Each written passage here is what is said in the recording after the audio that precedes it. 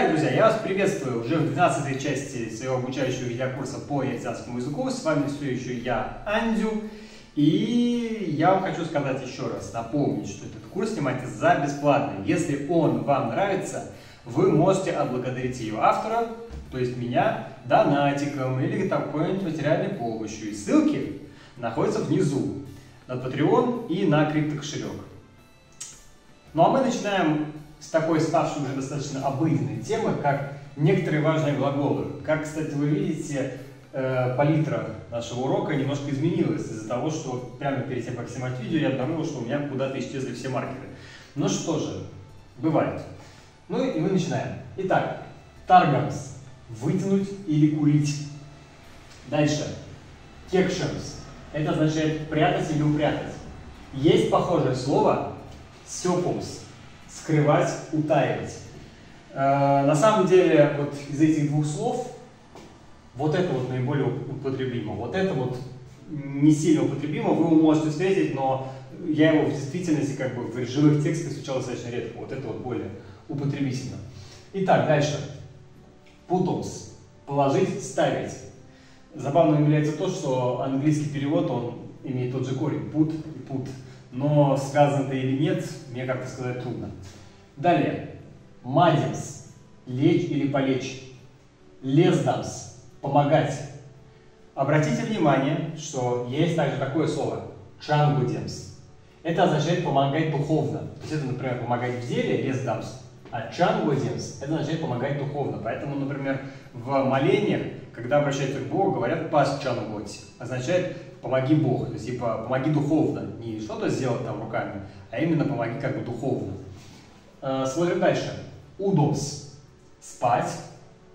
Сыргуземс просыпаться. И есть еще одно слово, пожалуйста, не путайте. Сыр готовс. Тронуться с места. То есть, допустим, когда вы э, куда-то хотите поехать, вы сидите, сидите, потом говорим, ну, например, перед какой-то поездкой, то вы э, посидели, посидели, говорите, ну что, сыр готов? Вот, ну, как-то так, например. Э, ну и далее. Нардамс, это означает стирать пыль. Дальше лакамс означает кипеть, кипятиться. Но это больше к слову, как бы сказать, вода. Это вода, либо, э, например, кровь. Верим лаки, допустим, моя кровь кипит, допустим, и так далее. То есть именно означает, что такой звук, вот, вот такой вид имеет. Далее, не путайте его, пожалуйста, с таким словом, как пидемс, означает варить. То есть, например, кипеть может вода, а пидемс это, например, вы яйца, например, варите, у вас получается э. Соответственно, это вареное яйцо, пидемс. Э, и есть еще такое слово, как жарить. Оно будет переводиться как рестамс. Рестамс и пидемс. Также не путайте эти два слова. Есть также слово открывать. Оно будет звучать как панжумс. Но помимо того, что открывать, оно также переводится как расцветать или распускаться. И еще два слова, которые тоже, пожалуйста, не путайте. Это пекстамс – закрывать. И селгумс – прикрывать, прищемлять. Вот это слово, на самом деле, оно гораздо более употребительное, чем это, но, в принципе, и это слово тоже употребляется в некоторых случаях. Но вот это вот именно означает прищемлять, то есть не до конца закрывать. Хотя, как бы, казалось бы, в финском языке есть слово «сулкия», которое очень похоже на это слово «сёлкунс». Это, собственно, слова когнаты. Вот. Но в аргентинском языке все-таки более употребительное слово «пекстамс». Ну и дальше, следующее слово – это «шлямс». Оно означает «мыть». Как-то так. Итак, друзья, давайте теперь рассмотрим наконец-таки такую важную тему, как элементы дома. Тема действительно очень важная, и как-то странно, что она оказалась именно в 12 уроке, а не где-нибудь в 5-6. Ну, не суть, ничего страшного. Главное, что эта тема появилась. Итак, давайте смотреть. Кудо – дом. От слова куда у нас образуется несколько очень важных слов. Кудо пря – крыша. Кудо юр – фундамент – но если мы хотим сказать, например, фундамент науки, то мы используем просто слово «юр» без «куду», потому что «куду» — это именно указание на то, что это основа дома. То есть «кудо юр» — это основа дома. Если вы хотите сказать, например, фундамент науки, то тогда вы будете, сказать, тогда вы будете говорить, например, просто «юр» и там для слова «наука», там «донатума» и так далее, как хотите. Э, далее. Вот следующее слово. «Кудо чама» — наружная стена. Чама – это означает лицо. И кудо это дом. А если это наружная стена, то внутренняя стена будет кудо йонкс. Йонкс это как бы сторона. То есть чан это лицо, а йонкс это сторона. А, ну и давайте дальше смотреть. Кудо плотмар. Это означает чердак. Все. Ну и дальше смотрим следующие слова. Кустема – это лестница. Как многие из вас могли догадаться, оно идет от слова куземс – взбираться. Ну и от него, соответственно, у нас образуется с помощью слова пе – конец. Прибавляем кустема и пе. Кустембе. Ну или кустемпе, можно сказать, ну кустембе. Это означает крыльцо, то есть конец лестницы – это крыльцо. Смотрим дальше. Вальма – окно. Слянника, или вы можете встретить в словарях слово сулика – стекло. Далее, медь – это черенок или ручка. Далее, слово панжума означает ключ. Идет оно, как вы понимаете, от слова панжумс – открывать. Но вы можете также встретить вариант паншума. Смотрим дальше. Пекстамо и сёлгу – это означает замок. Пиряукс – это означает забор. Кемкш – это у нас дверь. Эзем – скамья. Собственно, название атенезем, оно как раз-таки означает э, скамья старейшин. То есть это потому так названо, что на, ати, ну, что на Раскинёсксе там была специальная скамейка, на которой сидели старейшины.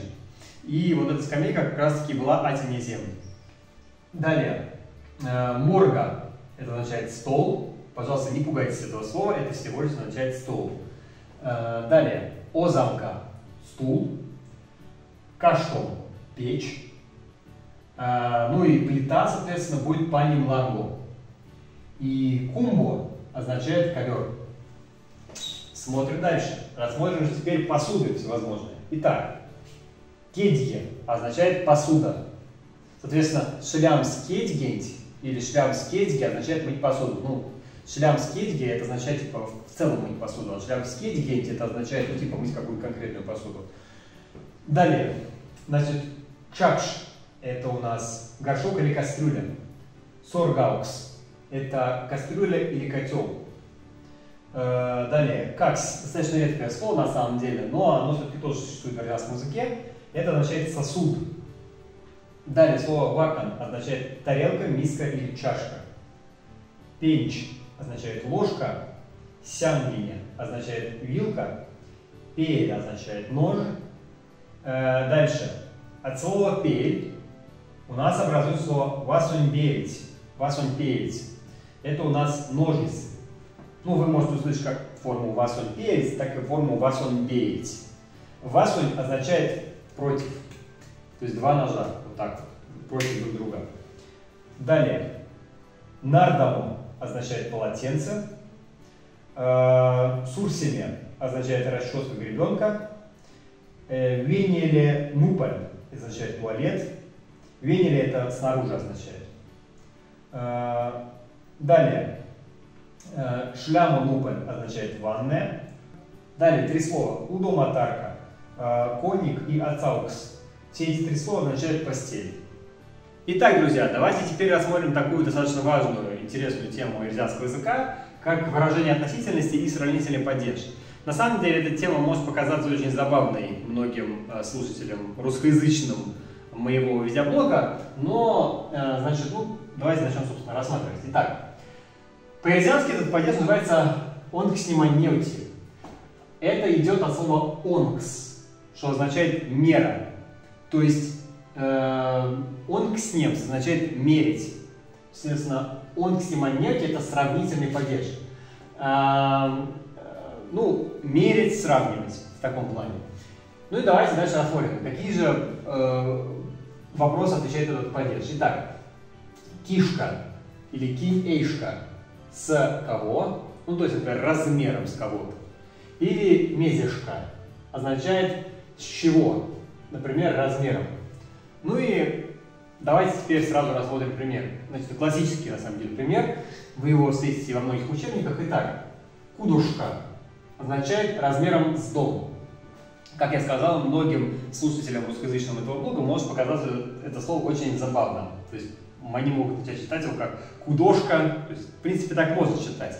Вот. Но чтобы вам не было так смешно, скажу, что в финском языке тоже есть похожий когнатный суффикс, это хка. Вот. Поэтому э, это все относится именно к финно И давайте еще рассмотрим такой пример. Вот он здесь. Э, достаточно распространенный, это аламнишка.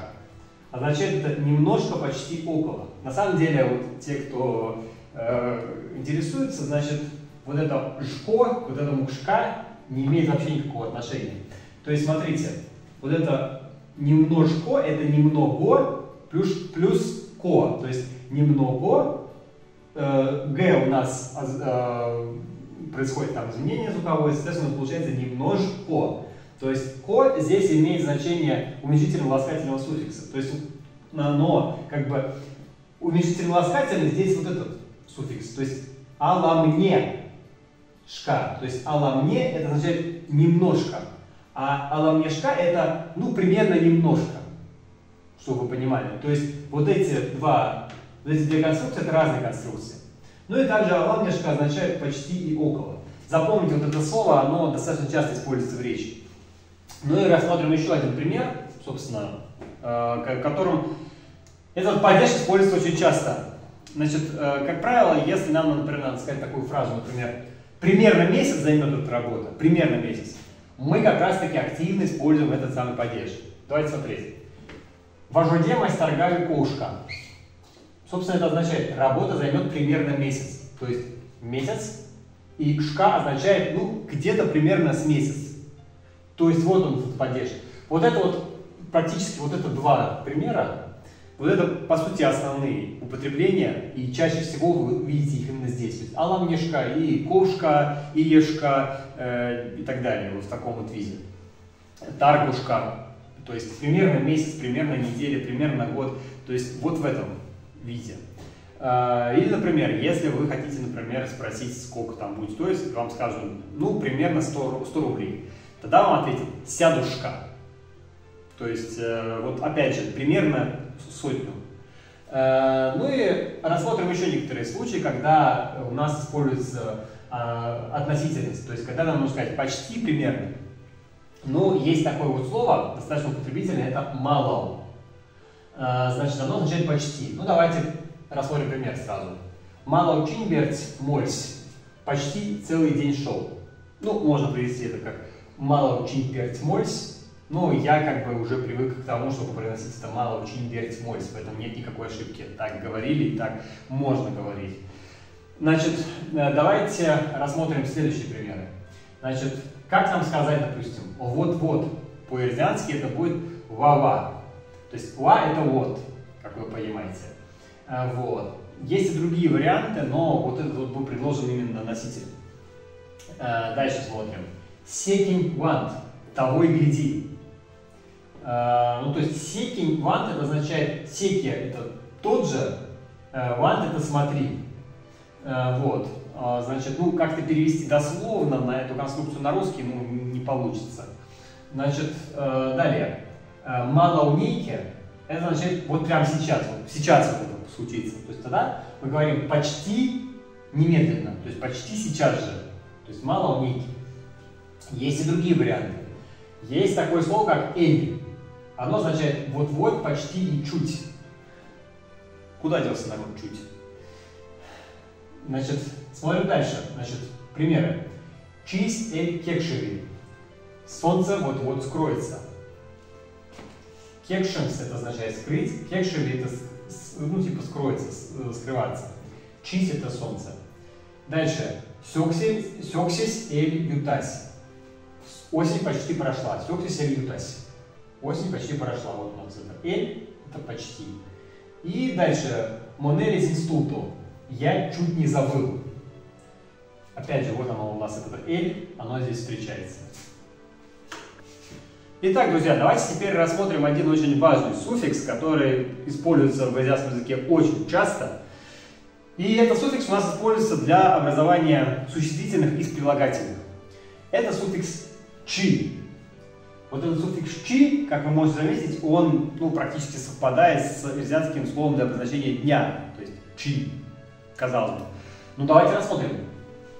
Шумра – это здоровый, ну здоровый не в смысле большой, и с большими мускулами, а именно не больной.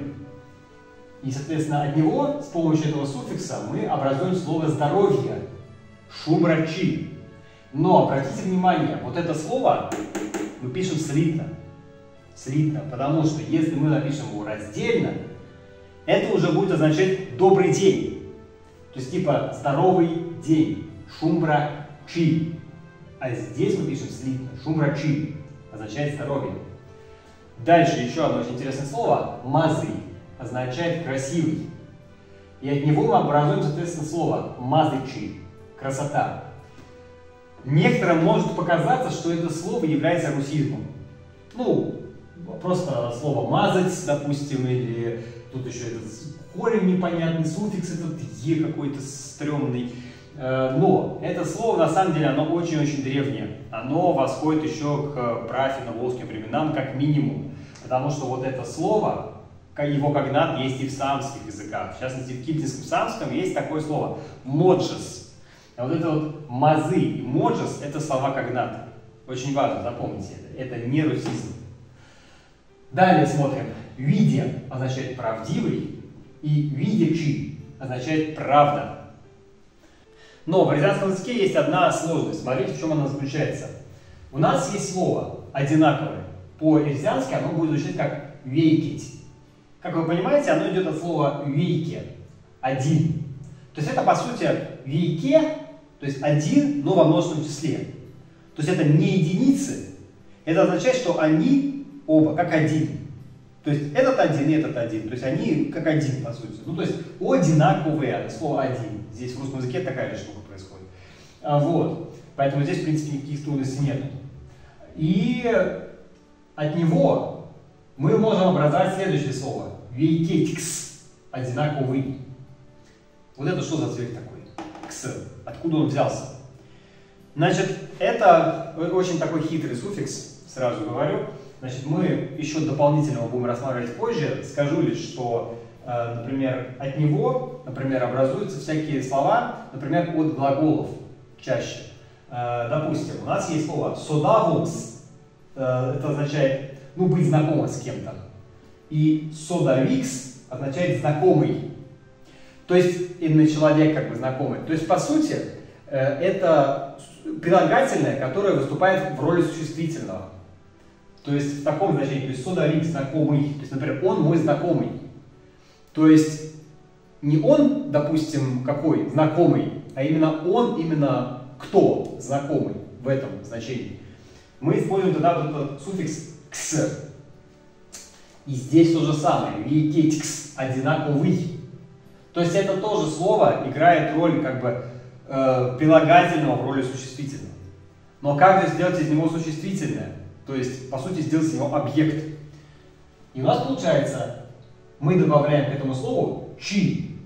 У нас получается вейтикшчи. Означает это одинаковость. То есть вот это вот уже никакой не прилагательный, как ты на него не смотри. Это именно существительное. И очень часто мы можем встретить такие слова, которые имеют вот такую связку. Ксчи.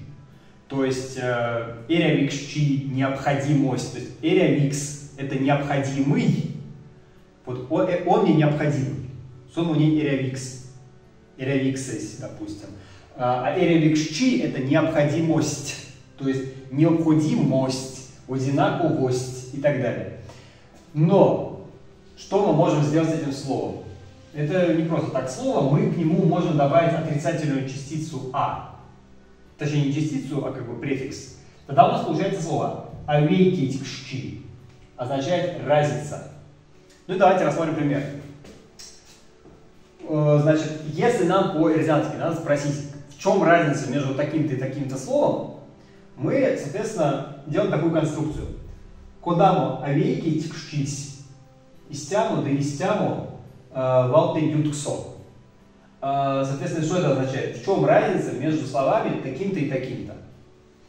То есть, кодамо это какая, авейкитькшись. Разница, э, есть какое-то слово в именительном падеже, и таким-то словом, словами между. Куда мы авейкитькшись систему, да систему валтный ютусто. Ладно, система. Ну и раз уж я вам привел слово solavix, давайте я вам дам небольшой пример с этим словом. Итак, очень важное выражение, пожалуйста, запомните его. Теютяно solavixex. Давайте познакомимся.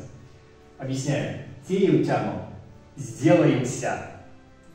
Solavixex. Знакомыми.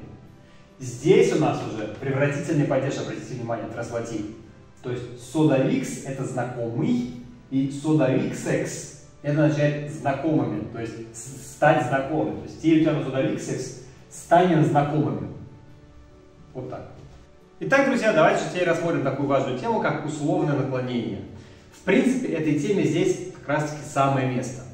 Итак, рассмотрим такой глагол, как озамс – сесть. Как же нам сказать по-эрзянски «я бы сел»? Мы берем это слово, убираем у него вот эту часть инфинитива, у нас остается просто оза. И к вот этому оза мы добавляем суффикс «вли». У нас, соответственно, получается «озавли» – «я бы сел», «озавлить» – «ты бы сел», «озаволь» – «он бы сел», «озавлиник» – «мы бы сели», «озавлите» – «вы бы сели», и «озавольть» – «они бы сели». Внимательные могут заметить, что слово «ули», вот этот суффикс, что-то оно очень сильно напоминает. А напоминает оно вот что. Давайте взглянем. Вот это то, что я здесь написал, это по сути как оно звучало в древнеазиатском. Значит, это у нас было как раз таки слово «оза», и дальше к нему добавляется слово «улемс» в прошедшем времени. Соответственно, у нас получается «оза ули». «Оза» плюс «ули». И что особенно характерно, в марийском мы видим достаточно похожую форму. Поэтому, если вы будете изучать марийский, вы там много чего сможете увидеть того, что очень похоже на эрзянский. Давайте смотреть. В марийском у нас получается лудам или. Я прошу прощения, если я неправильно читаю, потому что марийского я не знаю. Лудам или я бы читал. Лудат или ты бы читал. Отличие от эрзианского заключается только в том, что э, в эрзианском у нас э, личное окончание ставится к слову ули, улемс, улемс ули, а в марийском у нас ставится к корневой основе. То есть не оза, озы уле, допустим, а оза ули. А здесь наоборот, здесь луда уле. Вот это уле, это тоже это форма слова улемс. Ну, по-марийски, соответственно, будет по-моему, Улаш, если не ошибаюсь. Вот. Итак, а как же сказать по-эрзянски, допустим, такое выражение «я бы не сел»? Значит, мы берем слово «ауль» и прибавляем к нему личное окончание. Получается «аули», «оза». Как вы можете догадаться, у слова «аули» точно такой же генезис, как и у вот этого вот суффикса. То есть «а», «улин», «оза» было в древнеазиатском. Соответственно, здесь у нас уже получается аулин оза. Я бы не сел. Ну и смотрим дальше. Аулит оза. Ты бы не сел. Ауль оза. Он бы не сел. Аулине оза. Мы бы не сели. Аулиди оза. Вы бы не сели. И ауль туза. Они бы не сели. Ну и давайте рассмотрим еще несколько примеров. На самом деле это условное наклонение, оно может быть и объектным. Вот, например, Вальманс панжулия. Я бы открыл окно. То есть, видите, вальма это окно, мы помним с начала урока, панжулия. Панжопс, панжули, панжулия. Это у нас э, именно объектное спряжение. То есть, в принципе, структура вся такая же, как и э, в обычном спряжении, только мы здесь добавляем этот э, «вл». Э, дальше. А, если у нас отрицательный, то мы, соответственно, ставим аулимиксае, это означает «ты бы меня не взял». То есть аволимик, лимик, а, значит, а, вот этот вот мик, это означает «ты меня». Соответственно, аулимик означает «ты бы меня». Сае это не взял. э, вернее, аволимик это ты бы меня не, а здесь уже слово взял. Э, вот, то есть вы, видите, вот эта вся конструкция у нас умещается в одном вот условии. Это прелесть, фича, как скажем, арестантского языка. Ну и другой пример это Уайман Цавулия Панжо. Я бы не открывал окно. Ну, не открыл бы окно. А, вот. Итак, давайте рассмотрим те предложения. Из формы условного наклонения вполне себе можно формировать достаточно сложные предложения. Ну, давайте рассмотрим одно из них. Терди улитень кудозон, они сякшкама расили. Означает это следующее. Я бы тебя позвал к себе в дом, э, но времени не было. То есть терди улитень. Я бы тебя позвал, кудозон, к себе в дом. Ну, ко мне в дом, в мой дом, дословно. Айсяк, но. Если я не давал это слово, пожалуйста, запомните его. Это очень важное слово, но. Или только. А, вообще это значит именно только, но в значении но оно также может совершенно спокойно использоваться. Шкам моего времени, мое время Арасили не было. Вот так. Итак, последняя тема, которую мы с вами рассмотрим в этом уроке, это у нас «если». Есть такое слово в русском языке «если», и, видимо, какие-то должны быть способы, как сказать это по-ирзиански. Давайте смотреть.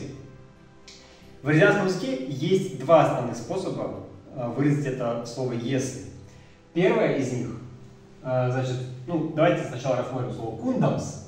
Как сказать «если я возьмусь или поймаю»? По-ирзиански это будет «кундендерян». Вот это вот кундендерян, вот этот делян – сами эрзяне его устанавливают слово теряутумс. То есть это, они воспринимают это как когнаты. То есть теряутумс это типа стараться, пытаться. А, вот. Ну и смотрим дальше. Кундендерят, если ты возьмешь и поймаешь. Кундендеряй, если он возьмется поймает. Кундендерят оно, если мы возьмемся поймаем. Кундендерят оно, если вы возьметесь, поймаете. И кундендерить это если они возьмутся, поймают. Значит, э, есть у этой формы также и объектная форма. Значит, кундендеряса, если я его поймаю, ну то есть видите, опять же, вот этот суффикс из э, более ранних уроков, он сюда тоже ставится совершенно спокойно. И кундендеряса это если я тебя поймаю. Домашнее задание вам попробуйте сами распрягать это все так, чтобы э, по всем лицам это все расклонялось, распрягалось. Далее, если нам нужно сказать отрицательную форму, допустим, если я не поймаю, э, то мы никакой там а, а, андерясаник не делаем. Не надо вот это вот делать, мы просто говорим а кундендеря. Все, вот это а достаточно. Здесь никаких вот этих аволимик, там и эзилимик не надо. Здесь просто а кундендеря, и все. Второй способ.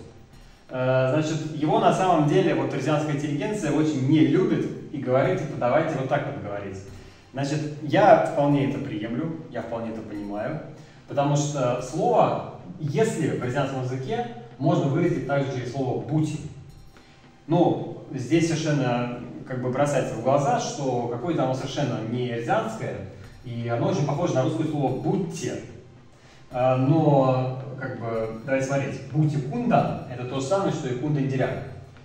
Но на самом деле вот это слово бути, лично мне, как человеку немножко знакомому с э, литовским языком, немножко, не сильно, мне оно больше напоминает литовское слово бути. То есть литовское слово бути – это то самое, что и быть в русском языке. Оно еще в древние времена вошло в аризанский язык в форме слова бути. Э, и вообще говоря, таких слов достаточно много. Допустим, благой есть такое слово, записывать я его не буду. Вот. Э, значит, благой означает плохой. Но арзяне также некоторые не очень его любят, потому что оно типа тоже выглядит как какое-то похожее на русское. Но на самом деле проблема в том, что балтские и славянские языки, они в древности составляли одно единое целое, до того, как их не пробили готы в третьем веке. Вот. То есть это, по сути, был один язык, балтославянский. Потом мы пробили готы, и в итоге балты и славяне стали разными народами. И поэтому некоторые слова, которые нам кажутся как бы русско, какими-то русскообразными, они на самом деле могут являться вполне себе балтскими названиями. В частности, э, вот, э, есть, правда, некоторые слова, например, которые совершенно не похожи на славянские. Например, э, кожура от, от лука, например, будет звучать как лукш. Ну, то есть оно вообще, в принципе, ни на, ни на что не похоже как бы с точки зрения кожуры, допустим, скорлупы, лукш, то есть не похоже. Но есть и похожие слова. Вот это вот как раз таки, на мой взгляд, это одно из таких слов, которое похоже на русское слово, но оно на самом деле таковым не является. Э, вот такая вот был, такой был рассказ, небольшое лирическое отступление. Значит, как же это слово выражается в финских языках? Значит, ну вот в финском языке, например, оно э, используется как слово queen. Э, значит, в мансийском языке э, также есть свой способ. Это слово ке, то есть потертейм ке, э, если я говорю, допустим. Э, и такая же форма и в венгерском языке, но там используется слово ха. То есть, допустим, ха бесиле, типа если говорю. Соответственно, но э, откуда пошла, значит, форма queen? Давайте рассмотрим. Это идет от прауральской формы ко. Это прауральский язык, и там было слово ко, от которого, в частности, в азиатском, в азиатском языке пошли такие слова, как косто, кода, кодамо и так далее. Вот это ко, оно перешло, в частности, в это слово э, финское. Вот. Поэтому здесь есть простор для исследований, для размышлений. Вот. Как-то так. И давайте жду вас в следующем уроке. Пожалуйста, не теряйтесь. Я очень рад тому, что кто-то из вас до сих пор смотрит до сюда. Вот. И вообще респект вам за то, что вы изучаете армянский язык. А -а -а! Я рад. Все. Всем удачи.